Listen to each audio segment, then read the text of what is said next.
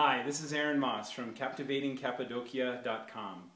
Next, I want to present to you the Turkish darbuka, the goblet drum, played by Ömer Körükçü. Captivating Cappadocia presents